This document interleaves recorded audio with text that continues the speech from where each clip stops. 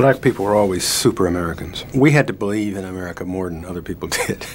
We had to believe that uh, the 13th, 14th, and 15th Amendments meant something, and that the Declaration of Independence, though written by a slave owner, did mean uh, the full scope of the words.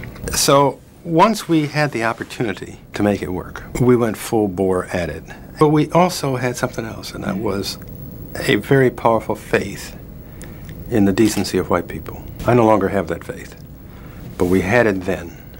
And that was if we can only demonstrate to white people how rotten this system is, most of them will, uh, most of them will, will change and the country will change.